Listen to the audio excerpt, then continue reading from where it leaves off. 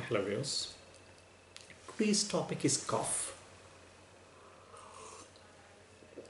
As you know that I have started a new series of videos where I explain the symptoms and uh, what are the possible causes of those symptoms, you know.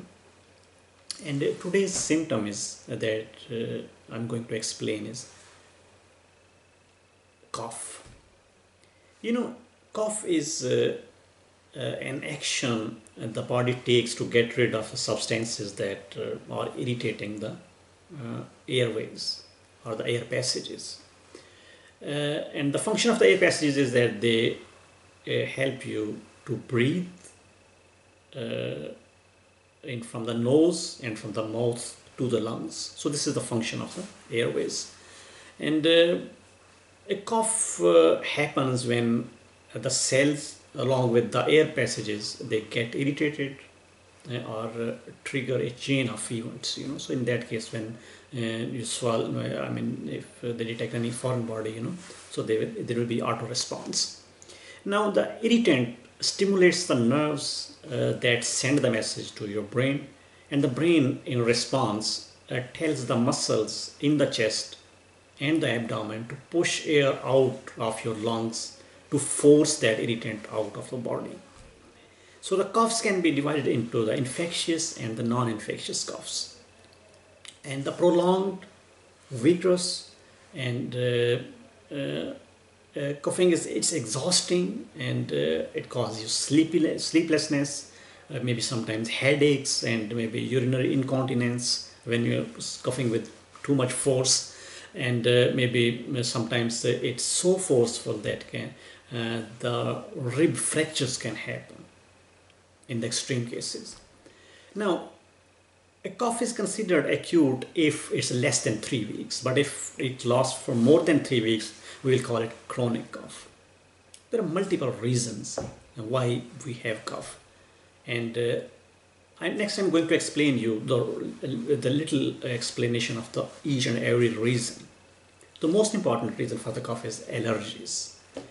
So these allergies occur when your immune system reacts to a foreign substance, for example, the pollen or maybe the smoke or maybe any uh, uh, bee venom, you know. So uh, this then at that point our immune system reacts, you know, or even some foods as well uh, to cause the reaction uh, in the most people. Uh, mostly these things don't call, uh, uh, cause any reaction, but, but our, our body responds. The second, the most important cause for the cough is asthma, you know. So asthma is a condition uh, where the airways, uh, they become narrow, they swell, and they produce uh, extra mucus. this can make the process of breathing more hard and it can trigger the coughing and maybe wheezing and maybe the shortness of breath. So these are the uh, complications of asthma. Now, the other reason we call it bronchitis. Bronchitis is when uh, the airways become inflamed, especially the lining of the bronchial tubes, you know, so they become inflamed and uh, uh their function is that they carry the air to and from the lungs so when they become inflamed, uh, it can cause the, uh, it can produce a thick mucus and uh, discolored mu mucus sometimes, you know.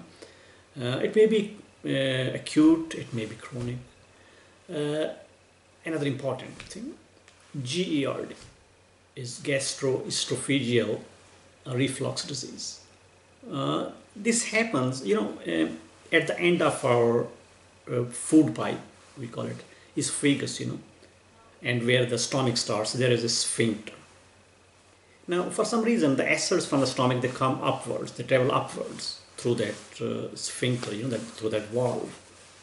So our body responds automatically to uh, uh, to send it out of the body through your mouth. So this is uh, when uh, we call it reflux, you know. So uh, the function is that this backwash uh, can uh, irritate the lining of the esophagus, you know.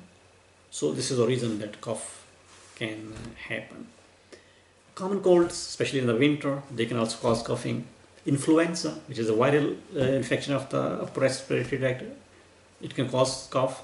Pneumonia, which is an infection of the lungs, it can cause the inflammation uh, and uh, it can uh, damage our lungs, you know.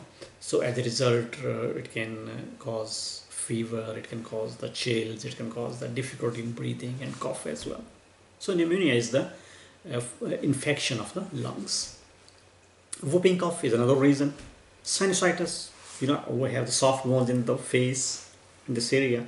If uh, there is any kind of infection uh, in the sinuses, we call it sinusitis, so it can cause uh, uh the cough as well because it uh, uh, produces too much pus like stuff, you know, the mucus, and it can drip on the back side of our nose and uh, it can cause it can irritate our respiratory system uh, so it can cause uh, cough.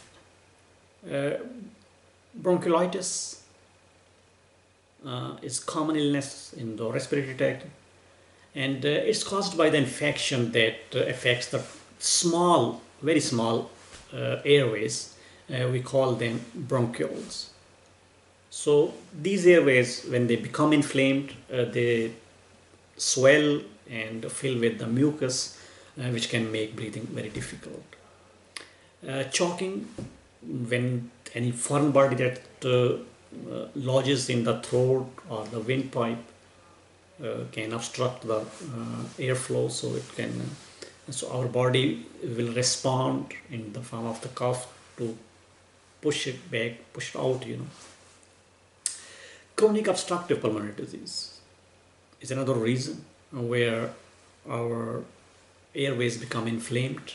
Uh, they are obstructed um, because of the too much uh, mucus and uh, they can cause difficulty in breathing and coughing and all that stuff. And mostly it, it's uh, it happens it's chronic disease it happens in old age and especially the people who smoke they are more vulnerable to this kind of um, uh, uh, pulmonary obstruction chronic obstructive pulmonary disease you know. Cystic fibrosis is a genetic disorder. It can also cause coughing, and it, it affects the mostly it affects the lungs, but it can cause uh, it can affect the liver and the kidneys and the intestines too.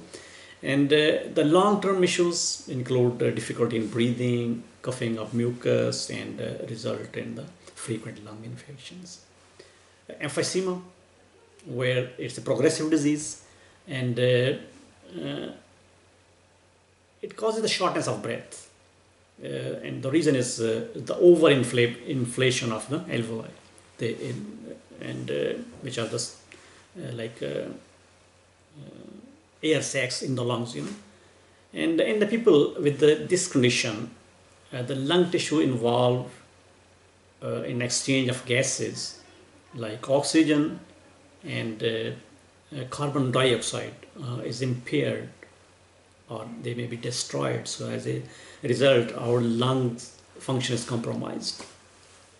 Heart failure means when the heart fails to pump the blood to all parts of our body, uh, and uh, especially to, to, the lungs, you know. So in that case, uh, it can cause the uh, coughing.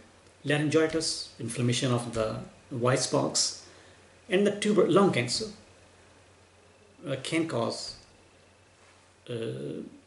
cough and uh, especially if there is a blood is coming out with the sputum you know with the mucus you know and the tuberculosis which is a,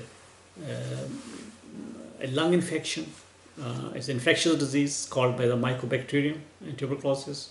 Uh, it's contagious and uh, it can cause the shortness of breath and coughing too. Thank you very much for watching this video. These are the most uh, important causes of the cough.